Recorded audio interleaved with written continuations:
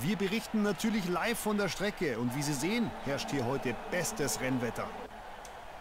So schaut's aus. Wir sind live bei der Genau. Startaufstellung, wo die Kameras einige der Favoriten für das heutige Rennen einfängt. Nur noch ein paar Minuten, dann geht das Spektakel endlich los. So schaut's aus, Freunde. So schaut's aus. Herzlich willkommen aus Texas.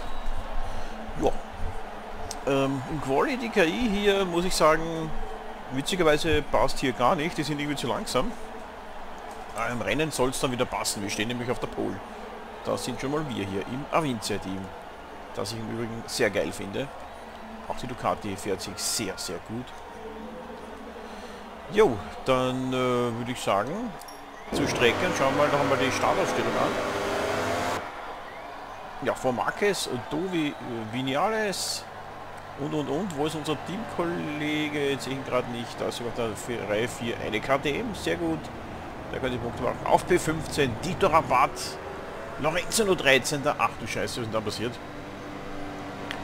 Simio 21. und hinter ihnen Lü... Was ist, wieso sind der hinter Simio? Ja, okay. Wieso? Aber Scott Riding? Puh. Alles klar. Einige fragwürdige Ergebnisse, aber ja. Die werden schon ihre Probleme gehabt haben wahrscheinlich. Warm-up bleibt hier, wenn unser Avincia Ja, mal schauen, ob wir was Flagge zurück schwenken, spulen konzentrieren müssen oder nicht. Und ja, schauen wir einfach mal.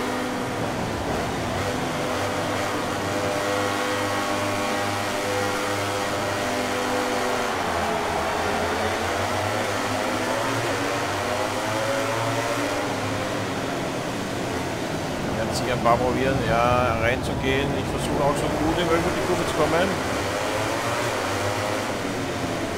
Wale ist da schon da, jawohl. Wale braucht den dringend Punkte auch. Crutchlow ist sehr stark auch hier bei uns. Ja, das, da ist schon die KTM, ja. Das ist sehr aggressiv auch in, der ersten, in den ersten paar Kurven. Wir brauchen keinen Zurückspuler. Ich versuche halbwegs geschmeidig reinzugehen. Wow. Geht nicht immer ganz gut hier.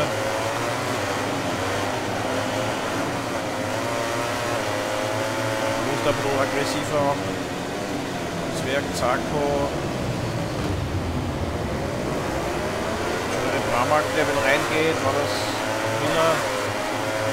Da war es doch Petrucci. Petrucci hinter mir, ja, es war Petrucci. So, unsere Ducati Power. Sehr schön getroffen, glaube ich, den Bremsen. Jetzt müssen wir aber ein bisschen aufmachen. Oh, macht er jetzt ich nicht, jetzt fahre ich vielleicht noch weiter geradeaus. Was ich gar nicht. Wow, ja, alles von außen. Ja, genau, hier wollen sie normalerweise auch gerne innen reingehen. Also jetzt hat er jetzt dann, hat von außen versucht. Ah, ein Tick zu weit, da könnte er innen durchschlupfen.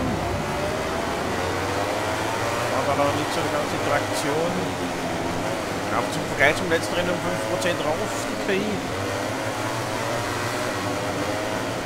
Ich sage Kohle, das war noch links von der KI, da wir auf jeden Fall auch auf die nächste Strecke. Kommt da nicht wie schon die Restfreunde, ich glaube.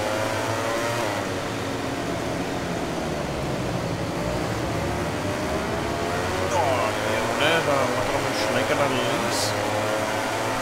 An hier. Ah, da fehlt uns noch was auf die Yamaha eigentlich von äh, Maverick Vinales. Das heißt, Motorleistung müssen wir noch upgraden auf jeden Fall.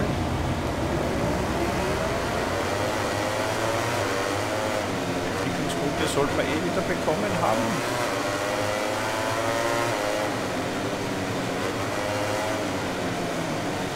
Das Feld halbwegs einmal sondiert. Die erste Runde, der erste Sektor auch speziell mit so langen Graben ist das sehr chaotisch hier mit der KI, aber zum Glück sind sie ein bisschen, also zum Glück sind sie nicht zu vorsichtig.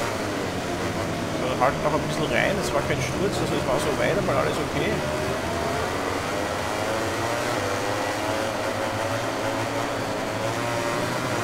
Aber aber. Ah, Jetzt wollte ich nicht zu früh, dass ich nicht mit dem Doch auf ihren ohne drauf fahre, aber genau. Haben wir uns einmal auf 8 halbwegs einmal positioniert. Also das spiegelt hier das Quali nicht wirklich wieder.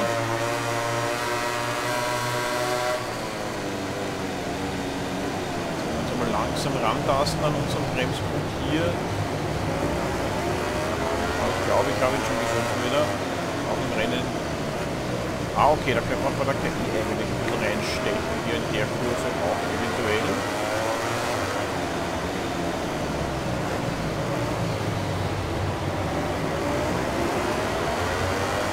Schon Lorenzo. Oh, der hat Quoten schon gut gemacht. Wie, der könnte schnell sein im Rennen, da ist er schon. Ah, okay, schnell rechts, da ist die KI auch ein Plato. Okay, wissen wir jetzt.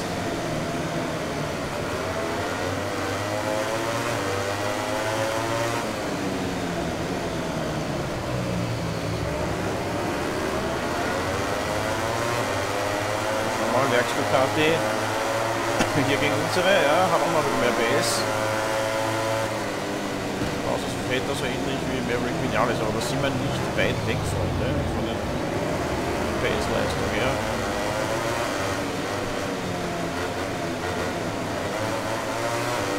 Das eine oder andere Update, glaube ich, und dann haben wir es. Oh, Zarko gegen was, was, was, was, was, was, was, was da waren sie eigentlich, das war früher immer dieser Sektor, da haben sie eigentlich immer verloren, oder? Jetzt stechen sie da sogar rein in der schnellen S. Da sind schon drüber raufgeschaut, die KI da aggressiv, technisch auch. Ich glaube auch beim neuen Formel 1, das jetzt dann rauskommt, in eineinhalb Wochen. KI auch ein bisschen aggressiver als schon. Pedrosa, seine Abschlusssaison hier auch für uns. Aber 5% im Testrennen war ich dann, ja, merke ich schon jetzt eigentlich diese 5%. Unterm Strich auch beim Race hier. Aber dann bremst es ja auch Defizite, aber das muss man ausnutzen. Dafür haben, dafür haben sie die eine oder andere Ecke, wo sie wieder schneller sind, okay da nicht die wahrscheinlich getroffen mit zwei. Oh, ja, ja, ja, ja, ja, ja, was bei Tucci? Ja, der wackelt so ganz komisch.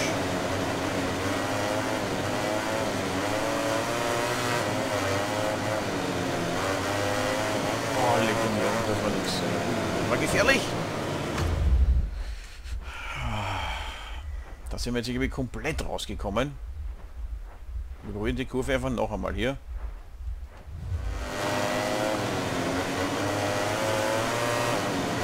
Ich komme nicht drauf. Ich komme da nicht drauf.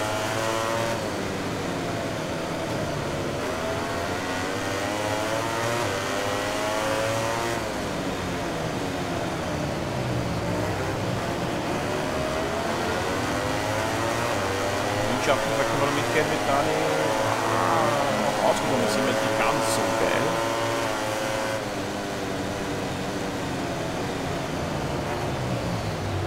Jetzt schon äh, Espargaro hinter uns mit seiner KTM, glaube ich. Der ist gut für Punkte.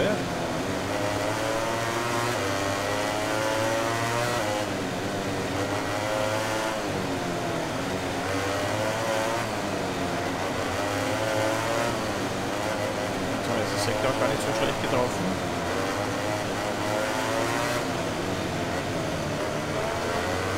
Dani außen überholen, sehr schön.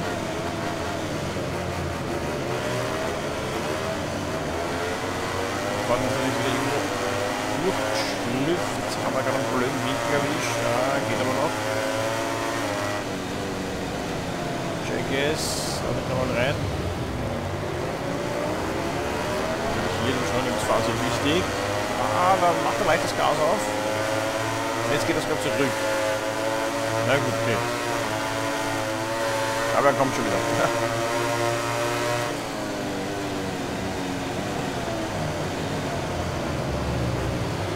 KI traut sich damit, die haben es vielleicht ein bisschen zurückgesteckt. Vielleicht sind sie dann bei den Tests ein bisschen zu oft gestürzt hier, dass da ein bisschen ruhiger sie anfahren lassen, die Kurve. Aber kann ja nicht, dass da mal Probleme geben hat auch.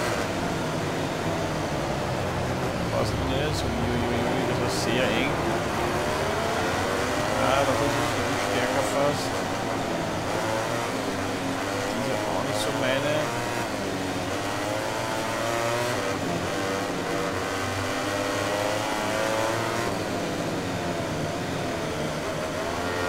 Der Schreck, habe ich da Bautista hinter mir gesehen?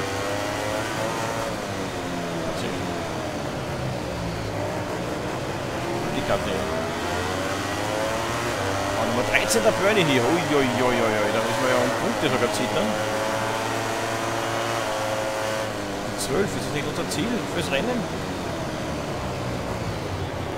Das wird schwierig, so glaube ich schon.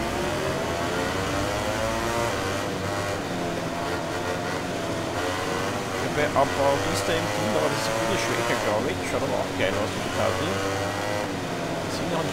Die werden noch ein bisschen schwieriger, also leichter von der Leichter wird es gewesen, glaube ich, von den äh, Vorgaben her. Dicken. Aber das Team war schwieriger.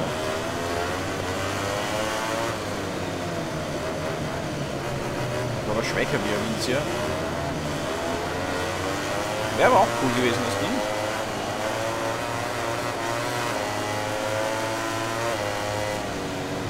wäre aber theoretisch auch ein äh, lustiges Szenario, da hinten beim Bautista, beim Team jetzt aus Baden, anzufangen mit Bautista und Abraham, dass man, dass man dort die Party-Karriere durchmacht. Dann hier zu Avincia, dann zu Bramalt und dann zum Werksteam.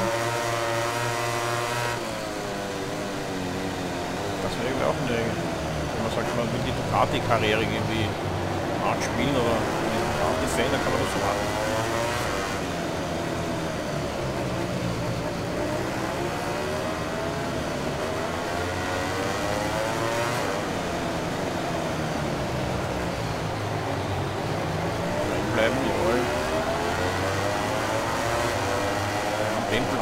Fighten, dann in der letzten Runde. Uh, das gefällt mir gar nicht.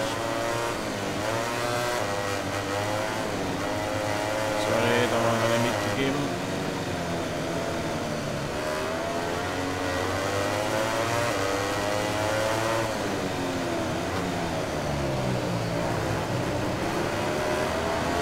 Also die letzte Runde. Ich glaube, jetzt müssen wir erreichen können. Sehen wir das da kurz? Schade, die Ziele wären jetzt für, für hier natürlich auch geil, wenn die noch einmal so eingeblendet bekommen würden. Und Display. Aber das sie nicht immer drin gehabt? Sind ja so schnell da, geraten. Der hat so eine schwächere Ding von mir. Gibt's ja nicht. Schade. Irgendwo ist das immer gestanden ist. War das nicht bei der, wo links die Platzierungen durchbrennen? Das dann so ein. Das war das nur beim Formel 1 wenn grün steht 10, das ist noch okay und dahinter ist es nicht mehr okay, in dem Fall 12 hoffentlich für mich. Dani und Ramak da vorne werde ich nicht bekommen.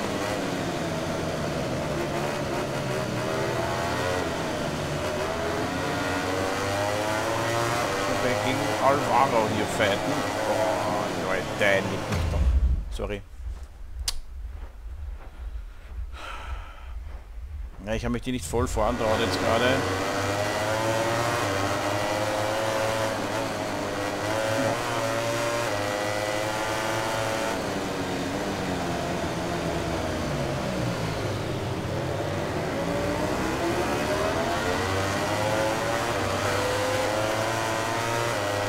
Das ist ja...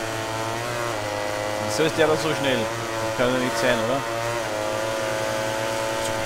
Hallo? Jetzt... Ich glaube ja, die geben ihnen vom Speed her da so, da so viel Bonus, weil sie da hinten dann wieder so langsam sind, dass es von der Runde her passt vielleicht. Schaut auf jeden Fall bisschen komisch aus. Scheiße, jetzt haben wir mich da wieder gekriegt.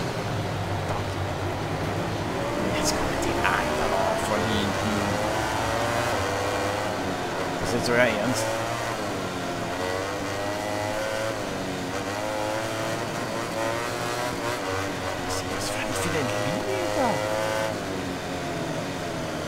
aus mit dem Ziel. Die Reifen können sich zeigen, weil da haben wir eine Hälfte drauf, also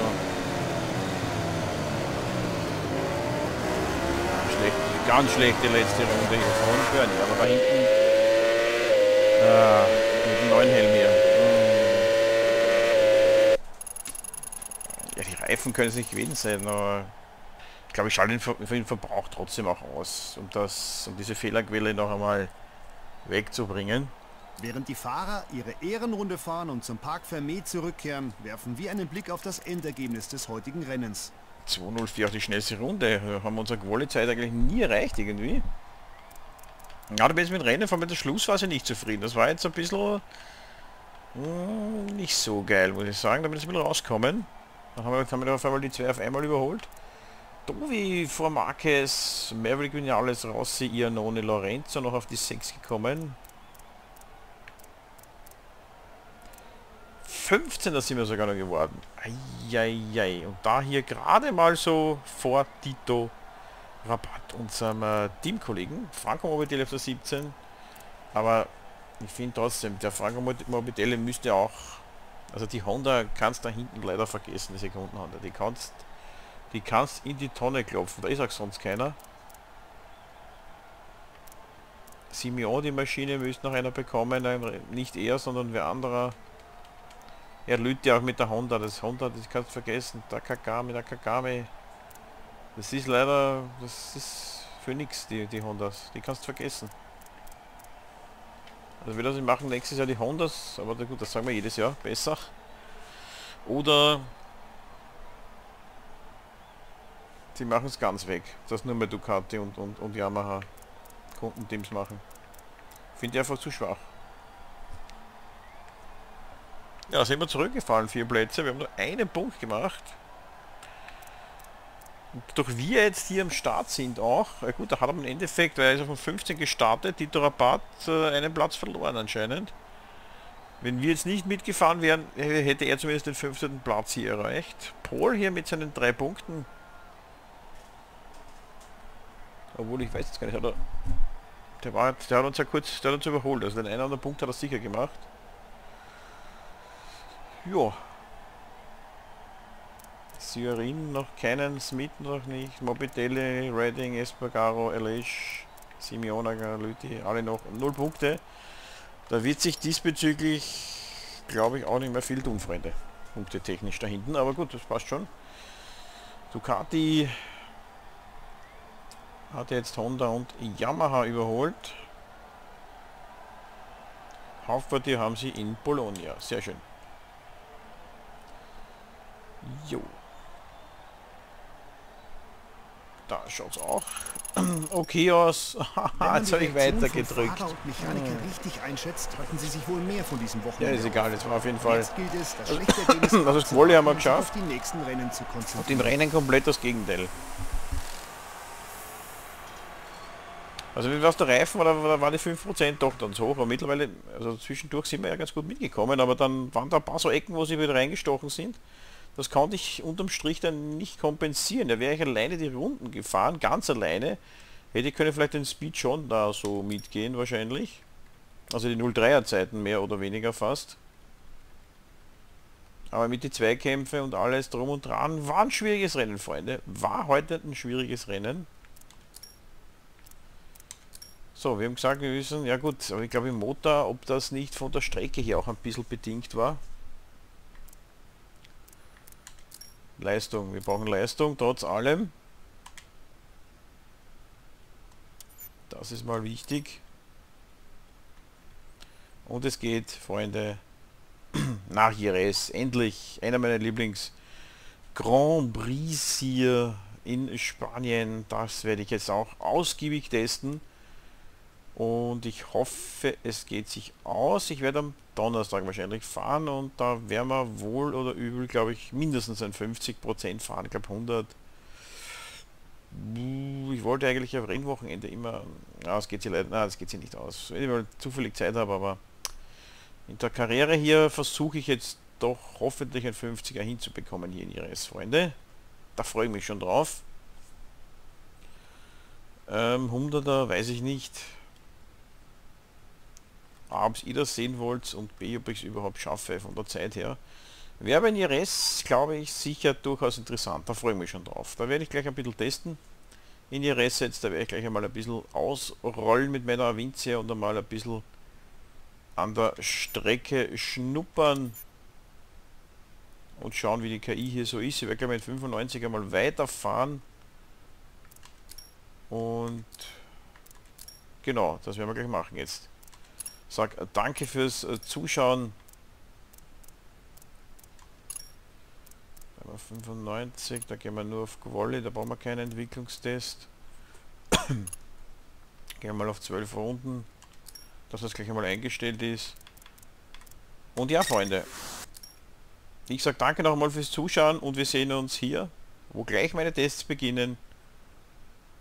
Das nächste Mal wieder, ich kann wahrscheinlich am Donnerstag, ja, am Donnerstag wird es höchstwahrscheinlich, Donnerstag oder Freitag wird es kommen, weil MX muss ich auch aufnehmen. Bis dann. Ciao, ciao. von der Rennstrecke in Jerez.